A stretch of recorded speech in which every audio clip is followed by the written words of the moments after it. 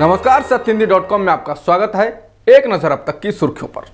भारत में एक दिन में छियासठ हजार सात सौ बत्तीस नए मामले सामने आए हैं और 816 लोगों की मौत हुई है इसके साथ ही देश में कुल संक्रमितों का आंकड़ा इकहत्तर लाख बीस हजार के पार हो गया है और मृतकों की संख्या एक लाख नौ हजार से ज़्यादा हो चुकी है फिलहाल एक्टिव मामले आठ लाख इकसठ हजार के पार हैं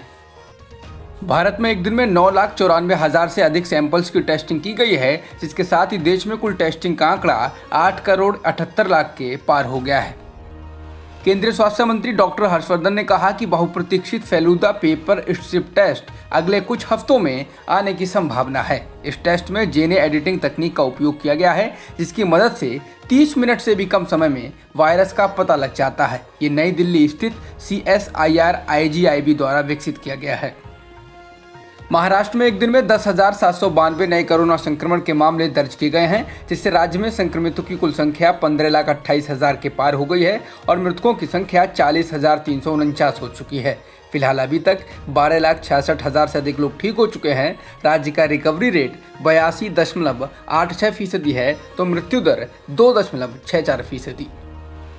आंध्र प्रदेश में एक दिन में 5,210 नए मामले सामने आए हैं जिससे राज्य में कुल संक्रमितों की संख्या सात लाख पचपन हजार के पार हो गई है और मृतकों की संख्या चौबीस हो चुकी है फिलहाल एक्टिव मामले छियालीस हजार से अधिक हैं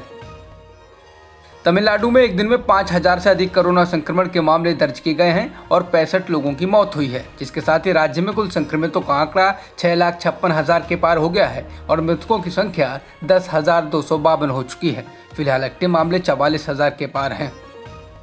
कर्नाटक में एक दिन में 9,523 नए कोरोना संक्रमण के मामले दर्ज किए गए हैं और 75 लोगों की मौत हुई है जिसके साथ ही राज्य में कुल संक्रमितों का आंकड़ा सात लाख के पार हो गया है और मृतकों की संख्या नौ हो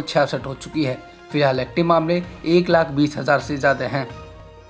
दिल्ली में एक दिन में 2,780 नए कोरोना संक्रमण के मामले दर्ज हुए हैं और 29 लोगों की मौत हुई है इसके साथ ही दिल्ली में कुल संक्रमितों का आंकड़ा तीन लाख नौ हजार के पार हो गया है और मृतकों की संख्या पाँच हजार सात सौ उनहत्तर हो चुकी है फिलहाल एक्टिव मामले इक्कीस हजार सात सौ एक हो चुके हैं दिल्ली में 31 अक्टूबर तक सभी धार्मिक कार्यक्रमों पर लगी रोक को हटा लिया गया है ऐसा त्योहारों को देखते हुए किया गया है अब किसी भी धार्मिक कार्यक्रम में 200 लोगों के इकट्ठा होने की अनुमति है